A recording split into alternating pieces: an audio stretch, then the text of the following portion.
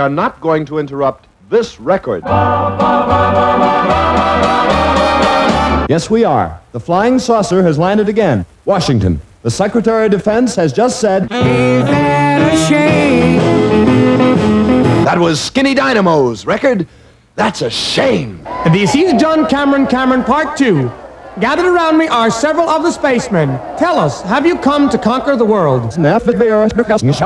And now would you repeat that in English? Don't want the world to have and hold. Hey, why don't you go back where you came from? Don't be angry and drive me away. We return you now to our studios. Here is a news item from Washington. The president has just issued a statement to the spacemen, and we quote You can do anything but lay off of my blue suede shoes. That was Pa Gherkin's record, Shoes. We switch you again downtown. This is John Cameron Cameron downtown.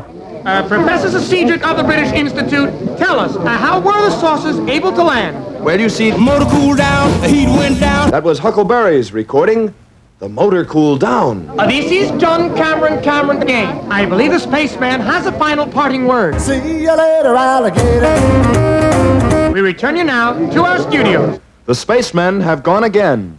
But look to the skies the saucers will always be there. Always be there. Goodbye, Earth people.